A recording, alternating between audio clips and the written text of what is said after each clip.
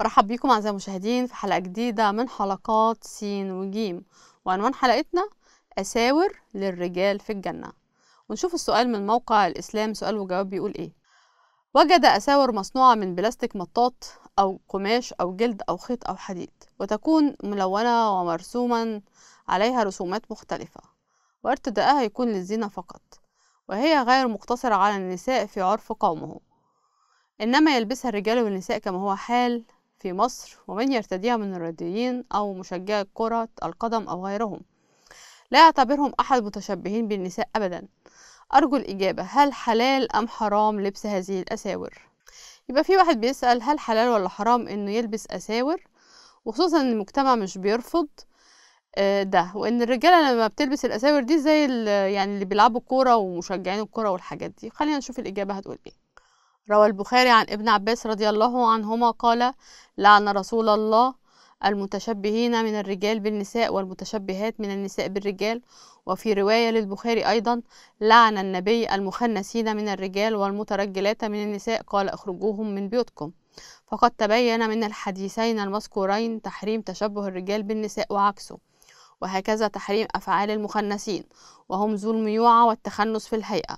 قال المبارك فوري رحمه الله أي المتشبهين بالنساء في الزي واللباس والخضاب والصوت والصورة والتكلم وسائر الحركات والسكنات.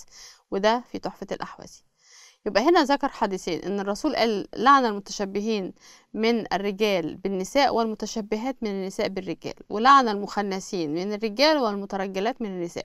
ووصف الرجالة اللي بتتشبه بالنساء بالميوعة والتخنث. وخلينا نكمل الإجابة ثانيا لبس الأساور سواء كانت من الشكل المذكور في السؤال أو غير ذلك من الصور سواء كانت من جلد أو معدن أو غير ذلك محرمة على الرجال لأنها من لبسة النساء وزينتهن ولا يلبسها من الرجال إلا من فيه تخنص وتشبه بالنساء وليس الأمر كما ذكر في السؤال من أن أهل مصر لا يعتبرون ذلك تشبها بالنساء أبدا بل الغالب على أهل المروءات والأخلاق أنهم ينكرون ذلك ويأنفون أن يلبسوا أبنائهم وزويهم.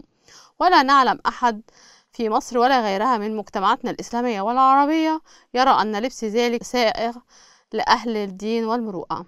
وهنا أكد أن لبس الأساور سواء كان معدن أو جلد محرم على الرجالة والراجل اللي بيلبس أساور ده بيكون فيه تخنث وبيتشبه بالنساء.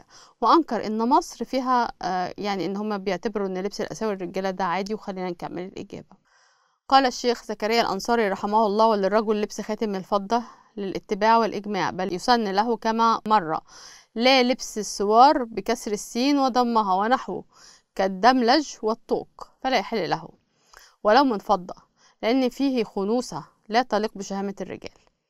يبقى هنا الشيخ زكريا الأنصاري أكد إن ممكن الراجل يلبس خاتم فضة لكن لبس السوار حتى لو كان فضة يعني آه، لا يحل له لأن ده فيه خنوصة وما بتلقش بشهامة الرجال ونكمل الإجابة.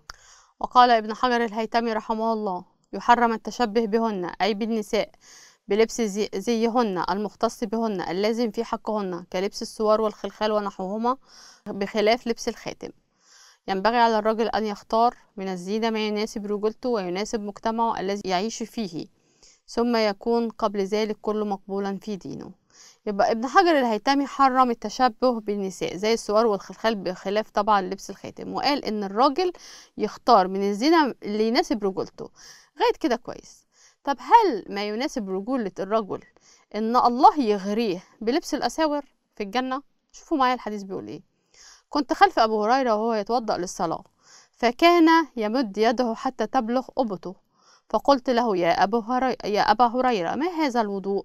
فقال يا بني فروخة أنتم ها هنا؟ لو علمت إنكم ها هنا ما توضأت هذا الوضوء؟ سمعت خليلي صلى الله عليه وسلم يقول تبلغ الحلية من المؤمن حيث يبلغ الوضوء. والكلام التصحيح قدامكم. هل أبو هريرة كان نفسه في كام إسورة زيادة كده في الجنة؟ فكان بيتوضأ غاية تحت إبطه. والكلام ده سمعه من رسول الإسلام إن الحلية تبلغ من المؤمن حين حيث يبلغ الوضوء. هل أنت تعرف إنك كمسلم الله بيغريك بالأساور في الجنة؟ وده في القرآن شوفوا معايا فين. سورة الكهف 31 أولئك لهم جنات عدن تجري من تحتهم الأنهار يحلون فيها من أساور من ذهب ويلبسون ثيابا خضر من سندس واستبرق متكئين فيها على الأرائك نعم الثواب وحسنت مرتفقا. طيب أنت كمسلم هتلبس أساور من ذهب اللي هي متحرمة في الدنيا وهتلبس ثياب لونها موحد يعني كل سكان الجنة أخضر بيلمع. هل ده مش فيه تخنس؟ ليه محرم على الأرض وبيغري بيه الرجالة في الجنة؟ وخلينا كمان نشوف سورة الحج 23 بيقول إن الله يدخل الذين آمنوا وعملوا الصالحات جنات تجري من تحتها الأنهار يحلون فيها من أساور من ذهب ولؤلؤ ولبسهم فيها حرير. وسورة فطر 33 أكدت نفس الكلام بتقول جنات عدن يدخلنها يحلون فيها من أساور من ذهب ولؤلؤ ولباسهم فيها حرير. شوف معايا كمان الولدان المخلدين هيكونوا لابسين إيه في الجنة؟ في سورة الإنسان 19 بيقول ويطوف عليهم ولدان مخلدون إذا رأيتهم حسبتهم لؤلؤ منصور. وتفسير القرطبي بيقول إيه؟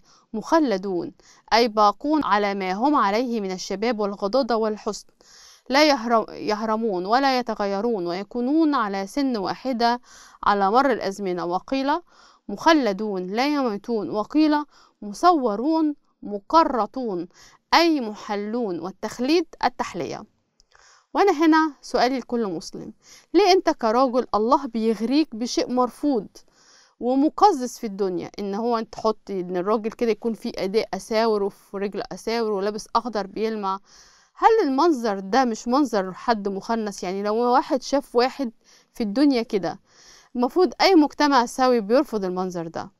ليه لما بتقرأ ده في القرآن؟ هل أنت لما بتقراها دي حاجة أنت بتتمناها كراجل؟ الحديث بيقول لعن الله المتشبهين بالنساء وبيغريك إنك هتكون متشبه بيهم في الجنة وألتقي بكم في الحلقة القادمة من سين وجيم.